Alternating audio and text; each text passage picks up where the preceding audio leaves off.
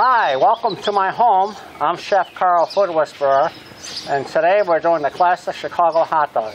Chef Karl, Food Whisperer, taking the mystery out of cooking.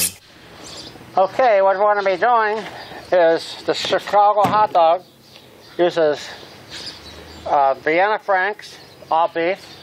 Sometimes people use them in casing. They're usually steamed or, or, or uh, some places fry them in a deep fryer and some I'm grilling them. You want fresh white onion, real iridescent uh, pepper, uh, pickle relish, sweet pickle relish, tomato wedges, mustard.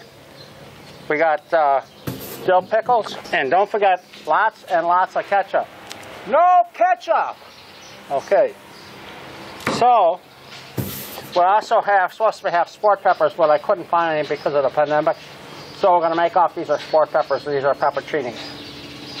Okay, let's start. And um, you got to have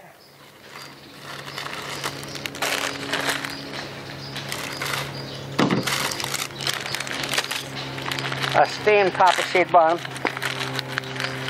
I just washed my hands, so so we open your bun. Put a nice hot dog in there. This is the Vienna off beef hot dog. And Chicago style Vienna hot dogs have less water in them. And that way they, they're not, uh, they don't get soggy. So we start off with neon relish, chopped white onion,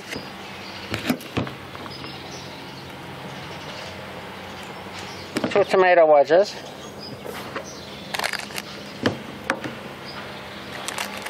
Forgot the mustard.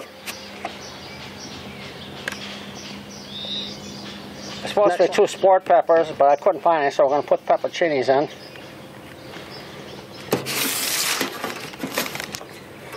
And a dash and a little celery salt. There you go. And that's the Chicago hot dog. Again, enjoy. And don't forget to subscribe and hit the bell, and you'll get to see new uh, cooking videos as they come up. There's about 20 of them out there now. And I also have six cooking videos on Mike's Everyday BBQ, Chef Karl Cooks. Let me know what you'd like to see. Thank you for joining me, and goodbye.